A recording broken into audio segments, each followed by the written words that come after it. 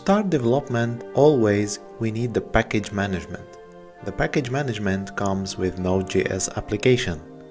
So to install it, just place in Google Node.js and go to download and you will see the download for all operating systems.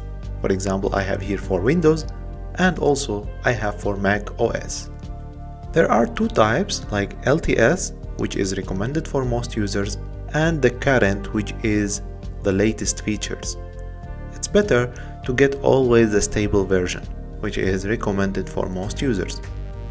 Here, you can choose your installation based on your operating system and it will be simply an application like any application you can install.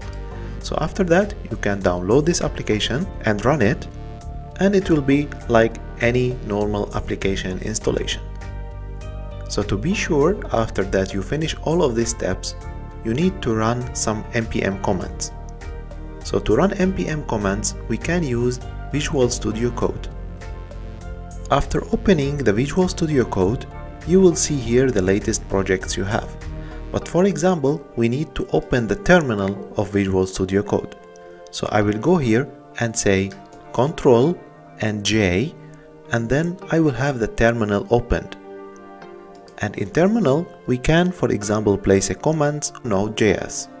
So we can say for example npm version and we would get the full detailed version about the installed Node.js. After that, we will be able to use Node.js package management, where there are many libraries we can use in our application and developments. Okay guys, let's now start installing the editor. The editor which we need is a Visual Studio Code. Of course, there are another editors which is up to you, you can install them like Atom or Sublime, but in my case I prefer Visual Studio Code because it has a lot of extensions which will fast our coding. So first of all I go to Google and I search for Visual Studio Code and I will get it in the first result and I will click on download it's available on Windows, Linux and Mac. All the same way of installation. I will select my operating system which is Mac and it will get downloaded. After installing this program, you will be seeing this window. Visual Studio Code is good editor for JavaScript, HTML and many other languages and also it has very great extensions where we can do a lot of coding fast coding for example we can check the extensions here if we click on it you will search in the marketplace for a lot of extensions Visual Studio Code recommends a lot of extensions for JavaScript because you know that we are going to use JavaScript for Node.js. And as you see here, there is for example this ESLint, there is Prettier, there is also special extension for Node.js. So for me, I would prefer to install for example Prettier, which will beautify my code whenever I click save. We will see how to configure it. And also Node.js extension. So let's start installing the Prettier extension. I go to the marketplace, type Prettier. I will get in the first result Prettier code formatter. So I will click install it and it will be installed to my operating or to my editor. Of course, this extension need also installation of a library. As we saw before, we had before the installation of Node.js, we can install npm packages. And also, this prettier supporting the formatting when I click save or when I save my code. So let's see how to configure this prettier. First of all, we need to have a project. So first, I need to have a folder where I will place my project and place my configuration file. So first, I will go to open folder. I will select any folder on my operating system and I will go to my desktop for example and I will create a new folder. Let's call it backend. And then I will create the folder and open it. So here where we are placing the project structure, I am going to add the configuration file of Prettier. How we can do that? In Visual Studio Code, after installation of the Prettier, we will have the shortcut where we can generate the configuration file. And the shortcut is Ctrl Shift and P. And in Mac, it will be Command Shift and P. And it will be the first line where is prettier create configuration file. When I click on it, it will ask where you want to create the configuration file. I will say in my backend folder and then I will see the configuration file prettier rc is generated with some default values. But before that, we need to install library from npm packages which is prettier. So first, I will open the terminal in Visual Studio Code and the shortcut for that is Ctrl J and I will have here the terminal. It's exactly like a command line. So first we need to create package.json file which is hosting the libraries which we need to install in our Node.js application.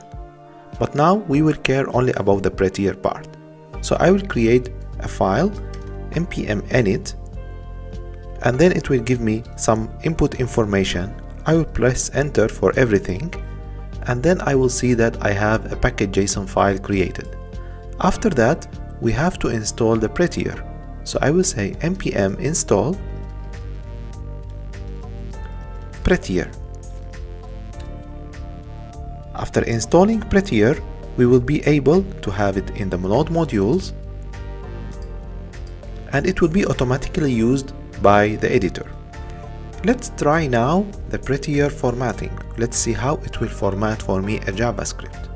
So I will create a new file, call it index.js and I will type for example a method or constant, call it uh, f and this f will be a function and this function will for example return for me or do something like return hello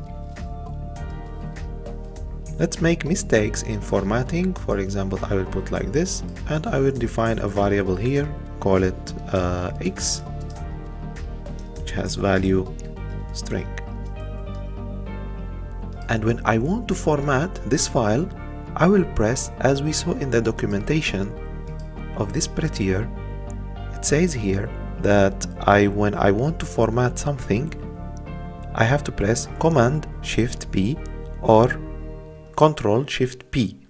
So let's try that in our file. I will go to the file back, Control Shift P, and then I will see Format Document. When I click on it, I will see the document is already formatted. And also, it will format the files when I click Save. So when I press Save, it will format automatically. So here, let's make another mistake. In the format, and click or save or Ctrl S and I will see the file is formatted. In this way, we will keep our code clean based on this configuration.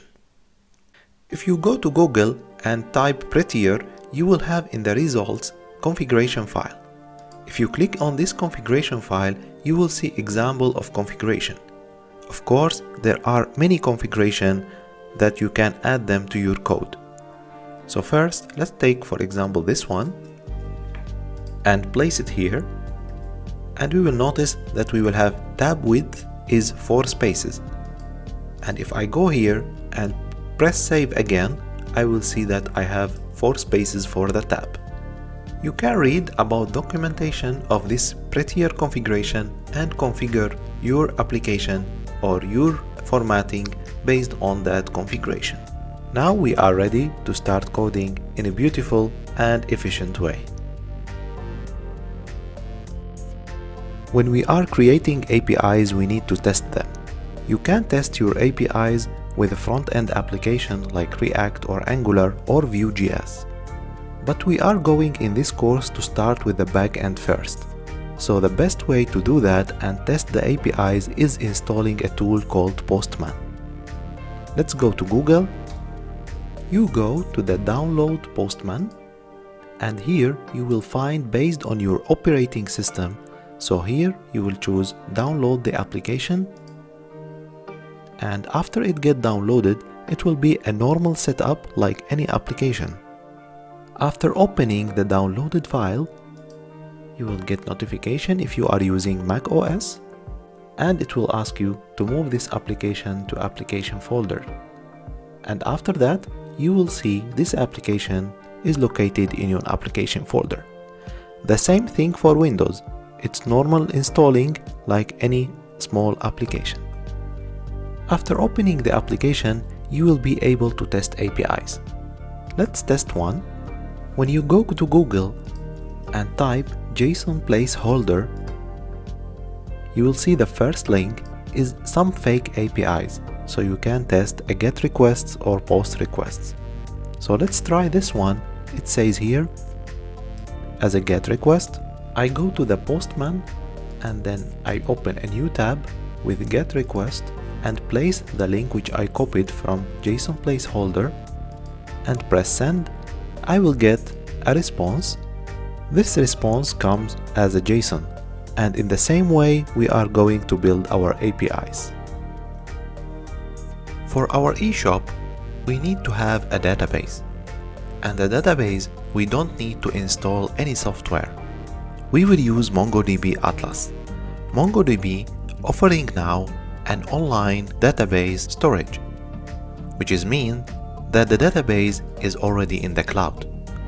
What we need to do just to go to the URL which I attached with this lecture and create an account here and sign up and then log into your account. After logging, you will see this screen that you need to create a project. So first of all, you need to create a project for our eShop. So you go here and say, I want a project, which is, for example, eShop. And I click next, and then creating the project. After that, the project require a cluster. So we need to build a cluster where we offer our database. So here there are shared clusters, which is for free. You can use it and choose the closest server to your country. For example, I will use this one, the default one. And then after creating the cluster, we are ready to create our database. The database in MongoDB called collection so you need to go to the collections and create a new one based on your need. We have already one which we created for the course in the project 0. Here there are collections and I created multiple databases. So your part is just to create an account and create cluster and create your own collection which we will use in the course. We will see later how to make the connection between our backend code and the MongoDB in the cloud.